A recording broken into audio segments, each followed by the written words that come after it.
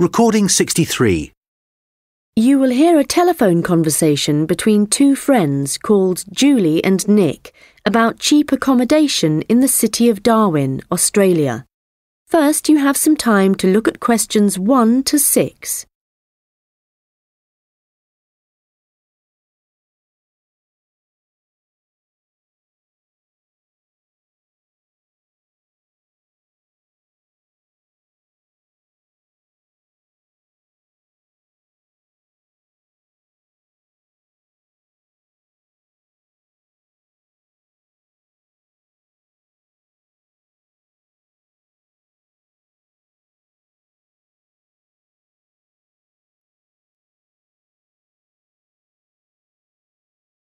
Hi, Nick, it's Julie. Have you managed to find any information about accommodation in Darwin? Hi, I was just going to call you. I found some on the internet. There are quite a few hostels for backpackers there. The first possibility I found was a hostel called Top End Backpackers. Okay. It's pretty cheap. You can get a bed in a dormitory for $19 per person. Private rooms cost a bit more, but we'll be okay in dormitories, won't we? Sure. So, that hostel has parking, though that doesn't really matter to us, as we'll be using public transport. Yeah. Are there any reviews on the website from people who have been there? Well, yes. They aren't all that good, though. Some people said they didn't like the staff. They had an unfriendly attitude. Hmm. That's quite unusual in a hostel. Usually all the staff are really welcoming. That's what I thought. People said they liked the pool and the fact that the rooms had air conditioning. But the problem with that was that it was very noisy, so they were kept awake. But it was too hot if they turned it off, so they had to put up with it. Someone told me there's another hostel called Gumtree something. Mm, Gumtree Lodge. It costs a bit more $45 a person. What? Oh, no, that's for private rooms. It's twenty three fifty for the dorms. That's more like it. It looks to be in quite a good location. A bit out of town and quiet, but with good transport and quite near a beach. Has it got a pool? Yes, and its own gardens. The reviews for that one are mostly okay, except for one person who said they couldn't sleep because there were insects flying around in the dormitories. Not for me then. And I'd rather be somewhere central, really. Right. There's a place called Kangaroo Lodge. They've got dorms at $22, and it's downtown, near all the restaurants and clubs and everything. So that should suit you. And it doesn't close at night. So there's always someone on reception? That sounds good.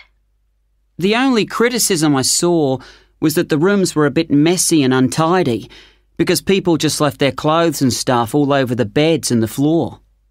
Don't hostels usually have lockers in the bedrooms where you can leave your stuff? Yeah, they do usually, but apparently they don't here. Still, hostels are never particularly tidy places, so that doesn't bother me. And the same person said that the standard of cleanliness was pretty good, and especially the bathrooms. They were excellent as far as that went. Right. Yeah, I reckon Kangaroo Lodge sounds the best. Me too. Quite a lot of people reviewing it said it was really fun there. Like every night, everyone staying there got together and ended up having a party. So it sounds like it's got a really good atmosphere. Okay, let's go for that one. Before you hear the rest of the conversation, you will have some time to look at the questions 7 to 10.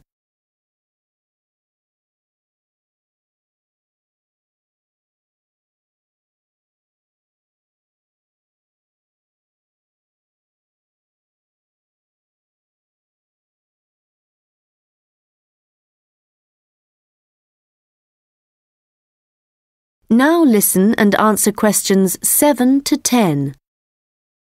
Did you get the address of Kangaroo Lodge? Yes, it's on Shadforth Lane. Can you spell that? S H A D F O R T H. It's near the transit centre, where the intercity buses and the airport buses drop you off. Cool.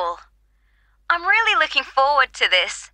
I've never stayed in a hostel before.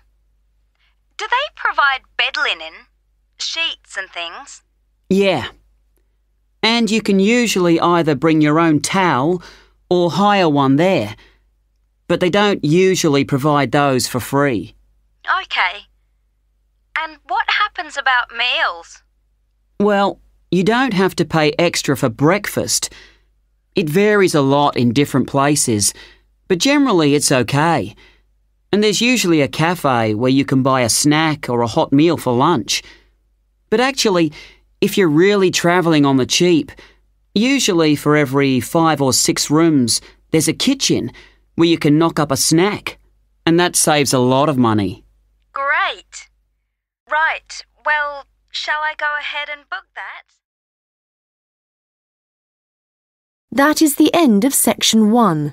You now have half a minute to check your answers.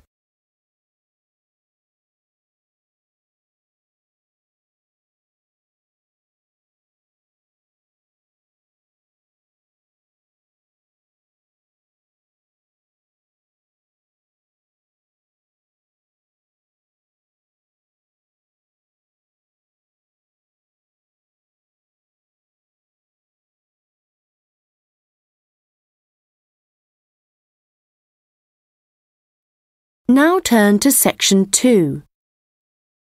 Recording 64. You will hear a guide at an outdoor sculpture park talking to a group of visitors. First, you have some time to look at questions 11 to 16.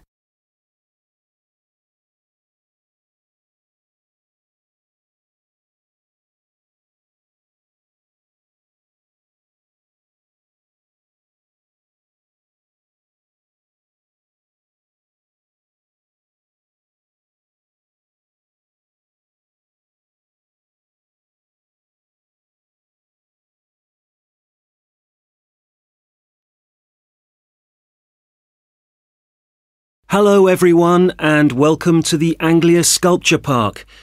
Right, well, the idea behind the Sculpture Park is that it's a place where works of art, such as large sculptures and carvings, can be displayed out of doors in a natural setting. As you'll have noticed when you drove here, most of the land around the park is farmland. The park itself belonged to a family called the De Quinces who had made a lot of money from manufacturing farm machinery and who also owned substantial stretches of forest land to the north of the park. They built a house in the centre of the park, not far from where we're standing now. But this burnt down in 1980, and the De Quinces then sold the land. The Anglia Sculpture Park isn't the only one in the country.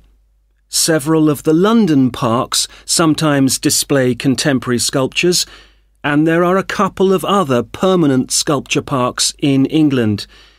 But we're unique in that some of our sculptures were actually created for the sites they occupy here.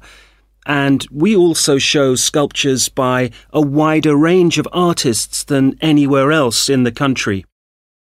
For example, at present we have an exhibition by Joe Tremaine of what he calls burnt sculptures.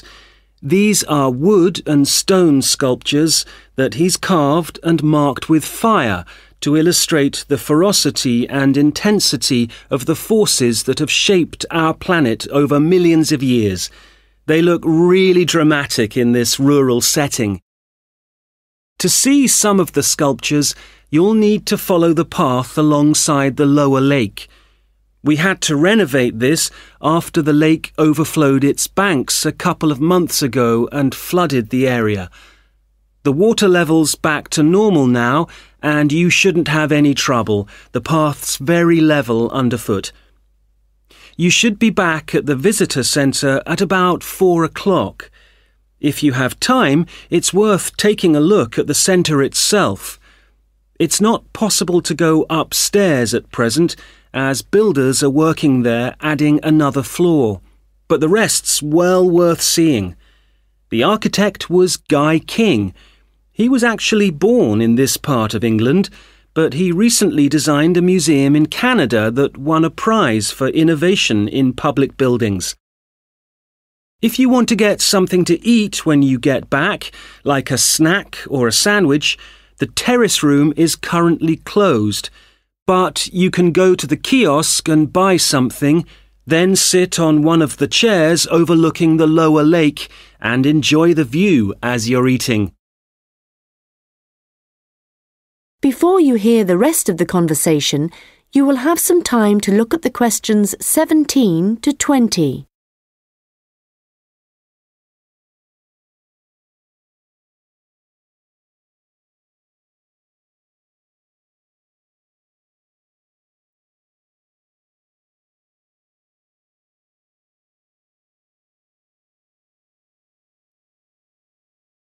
Now listen and answer questions 17 to 20.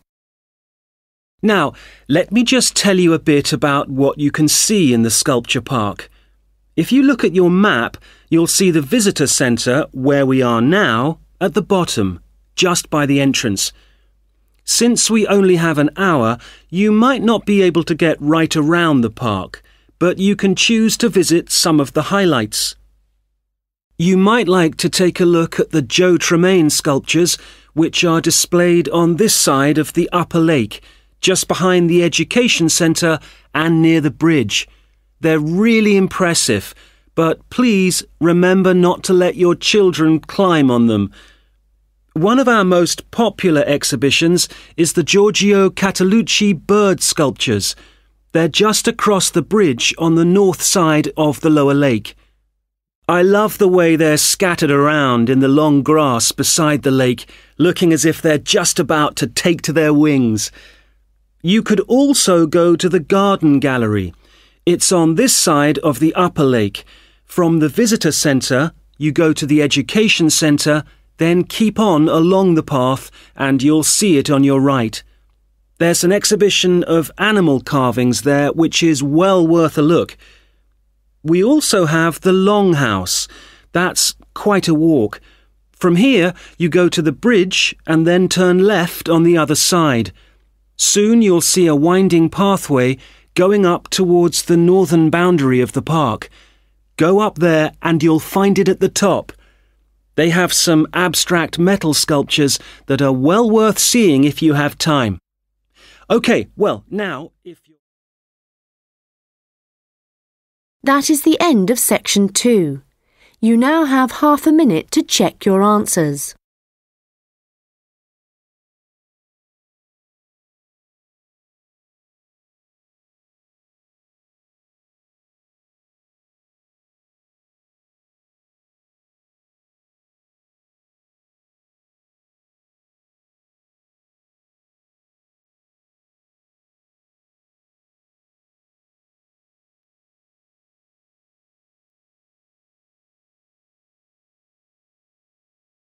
Now turn to section 3. Recording 65. You will hear a first year marketing student called Leo talking to a second year student called Anna about his marketing report. First, you have some time to look at questions 21 to 26.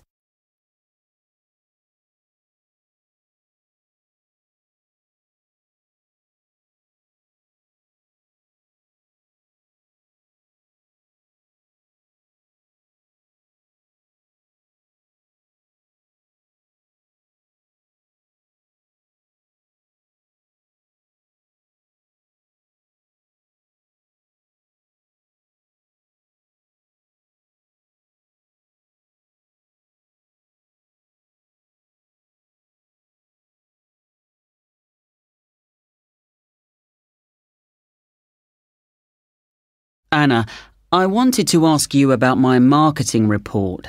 I'm not sure about it. That's okay, Leo. So, what do you have to do? Choose a product or service, then compare two organisations that produce it. I'm doing instant coffee. But haven't you got a weekend job in a clothing store? Why didn't you choose clothing? That was my first thought, because I thought it'd give me some practical examples. But when I searched for men's clothing on the internet, there were hardly any articles. So then I looked for coffee, and I found there were tons. Yeah, there are so many brands on the market now. OK, so how much have you actually written? I've done part one on economic and technological factors. I found some good data on technological changes, how in Australia, fewer people are buying instant coffee because of cheap coffee percolators that they can use to make real coffee at home. But there's also a movement away from drinking coffee. Switching to things like herbal teas instead because they think it's healthier. But that's not really to do with technology, it's more cultural. Anyway, for part two, I'm comparing two instant coffee companies Coffee Now and Schaffers. And I've made this table of products. Right. Let's see. So you've got the brand names and prices and selling size and descriptions. Mm-hmm. OK, the table looks good. You'll get marks for research there. Where will it go? In the section on the marketing mix, under product. Not in the appendix. No. OK, but it's too factual on its own. You need to add some comment in that section about the implications of the figures. Right. I'll do that. Now, I want to say that I think that Schaffers is more of a follower than a leader in the coffee industry. Now, I'm putting that in the section on market share. Does that seem okay? Let's see. So, you've begun by explaining what market share is, that's important. But you've got to be careful how you give that opinion. Do you think it should go in another section? Well, it's fine where it is, but you've got to back it up with some data, or they'll say your report lacks weight. OK. One thing I'm worried about is finding anything original to say. Well, since this is your first marketing report, you're not expected to go out and do interviews and things to collect your own data. You're just using published data. So the analysis you do might not throw up anything that people didn't know before. But the focus is more on how you handle the data. I mean, you might take something like a graph of sales directly from a website but what makes your work original is the perspective you provide by your interpretation of it. Oh. You know, it's all so different from business studies assignments at school. It's really surprised me. What? How much research you have to do? I expected that. It's more. I knew exactly what I had to do to get a good grade at school and I knew I'd be expected to go more deeply into things here. But I haven't got information on how the lecturer is going to grade my work, what he's looking for.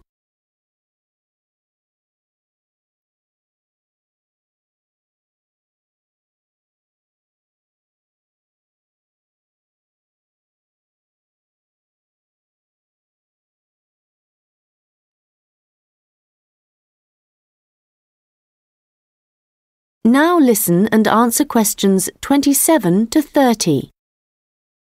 Well, one thing you have to remember is that in a marketing report, you've got to have what they call an executive summary at the beginning. I forgot that and I got marked down. Yeah, I've drafted it. I've got an overview. Have you got something about the background there? Yeah. Good. So, I've just made a summary of the main points. I wasn't sure whether or not I should have my aims there. No, that's too personal. The executive summary is just like what a manager would read to get a general idea of your report if he was in a hurry. Right. Then I'm okay for the first main part, all of the macro environment stuff. But it's when I get onto the problem section. I've listed all the problems that Coffee Now and Schaffers are facing. But then what? Well, you have to prioritise. So indicate the main problems, and then you analyse each one by connecting it with a theory. That's where your reading comes in. Okay. Have you done your implementation section yet? I've thought about it. So that's where I write about what could be done about the problems. Yes. And it's got to be practical, so don't forget to specify things like who would be involved, and the cost, and the order that things would be done in. Right. Well, that shouldn't take long. You'd be surprised. Actually, that's the bit that tends to get badly done because people run out of time. That and the conclusion. Oh, any hints for that? Well, it's got to draw out the main points from your report. So it's got to be quite general. You need to avoid introducing new stuff here. It's got to sum up what you've said earlier. OK. Thanks, Anna. That's been a big help. That is the end of section 3. You now have half a minute to check your answers.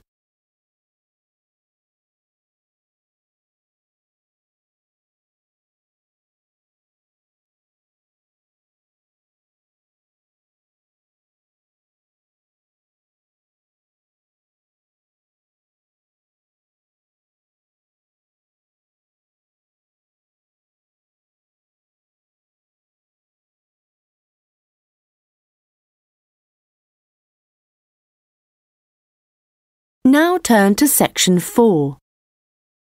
Recording 66. You will hear part of a lecture about the history of fireworks in Europe. First, you have some time to look at questions 31 to 40.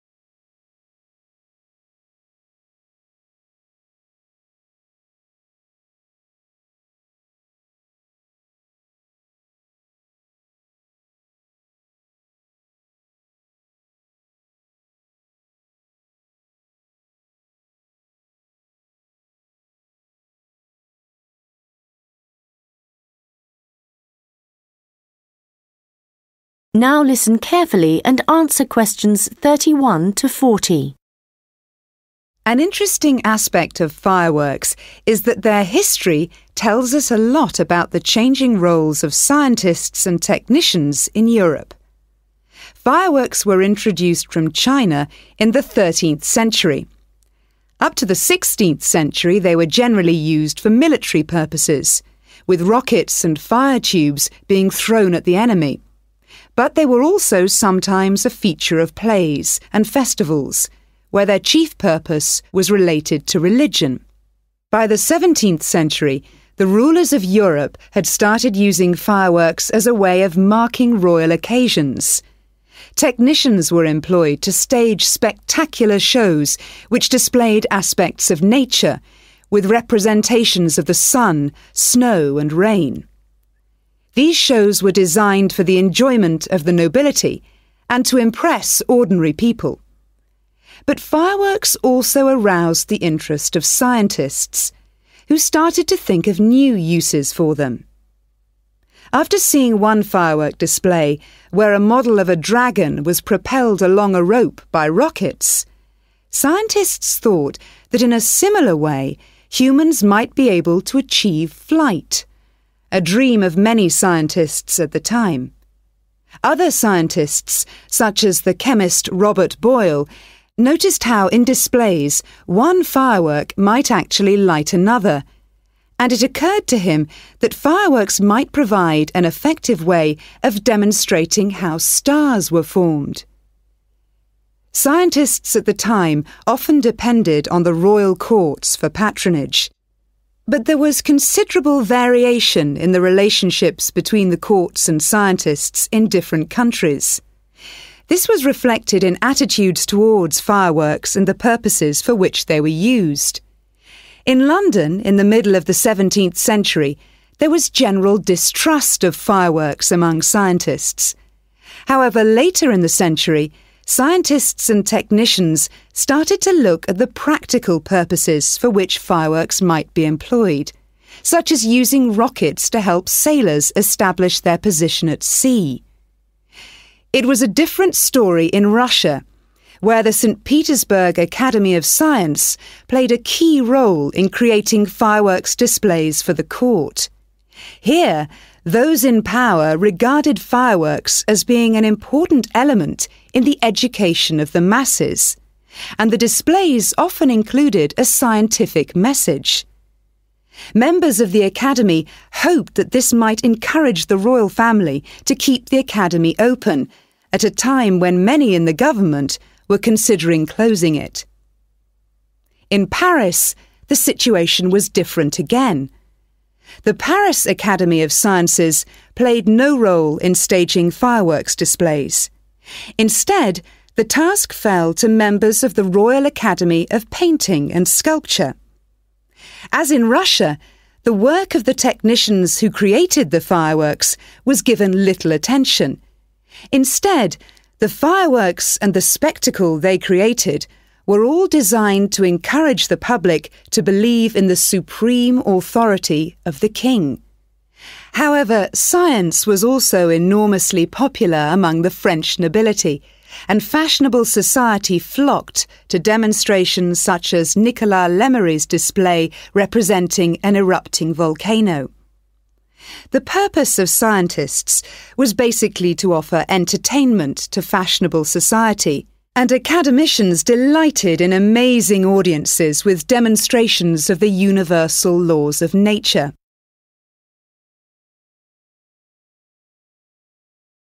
In the course of the 18th century, the circulation of skills and technical exchange led to further developments.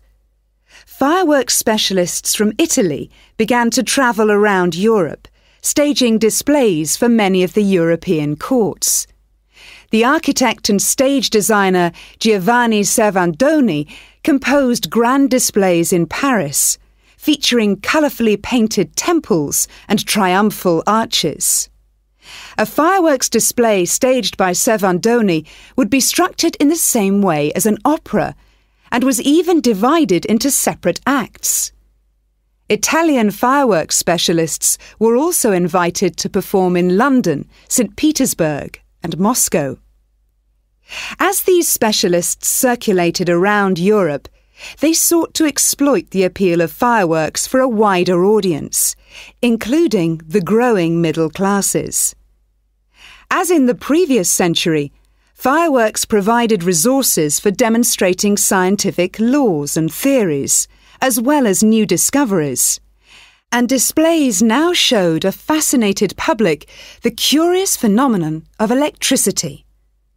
By the mid 18th century, fireworks were being sold for private consumption. So the history of fireworks shows us the diverse relationships which existed between scientists, technicians, and the rest of society.